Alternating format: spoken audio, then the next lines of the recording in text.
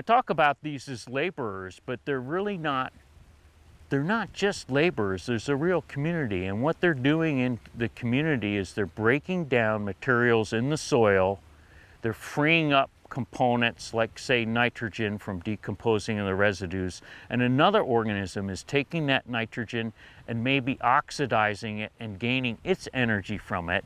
And another set of organisms actually is reducing that nitrogen back to ammonia and they're they're they're essentially breathing it just like we do oxygen and in doing so they're getting their energy.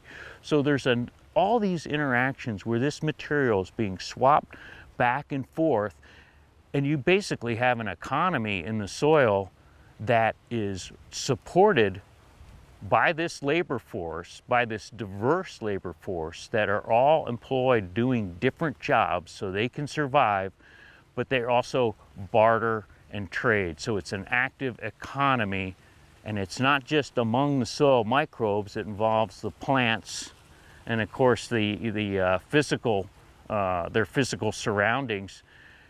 And to complete the, the metaphor here, they're communicating.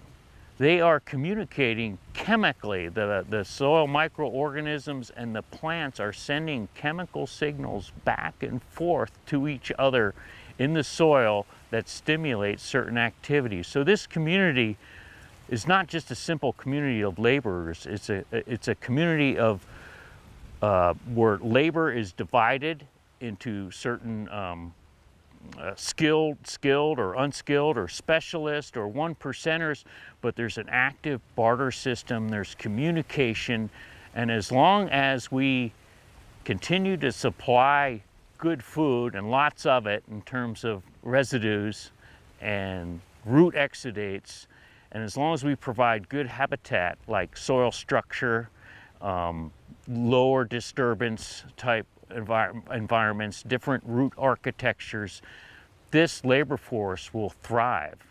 And all these different components of the workforce um, will thrive, interact, communicate, perform their job so they can survive, and in doing so, recycle all the nutrients that, that the next generation of plants will need. It was a holistic network that was building up, and not holistic floppy hat bib overalls, but holistic looking at the whole picture. Right. You know, Yeah. I was a little afraid of that term at first, but then I learned that it, it means looking at the whole picture.